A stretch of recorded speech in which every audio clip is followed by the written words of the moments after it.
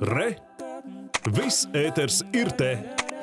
Savukārt, ņemot vērā, protams, epidemioloģisko situāciju mūsu valstī, ik viens no jums šogad svētkus ir aicināts svinēt savās mājās, klusi, mierīgi un atbildīgi. Bet par drošības svētku laikā šorīt esam sazinājušies ar Rīgas pašvaldības policijas priekšnieku Juri Lukas. Labrīt! Labrīt!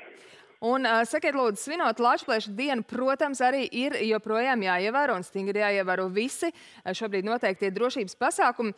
Ko pašvaldības policija vēlas noteikti atgādināt pilsētas viesiem un iedzīvotājiem?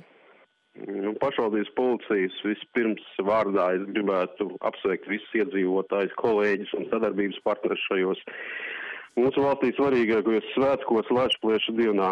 Nu, jā, diemžēl šos svētkus mēs sagaidām smagos epidemioloģiskos apstākļos, kas ir pa pamatu pulcēšanās ierobežojumiem.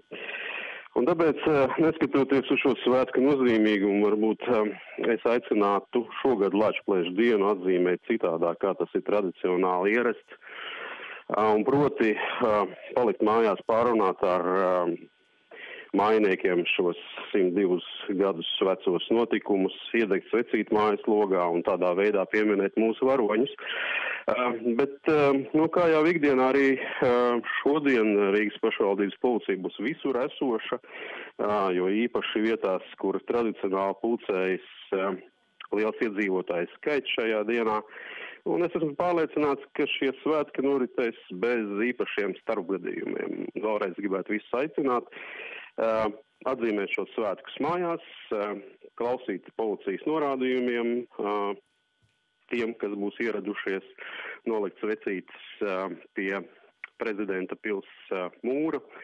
Tā kā es domāju, ka šie svētki paies bez īpašiem starp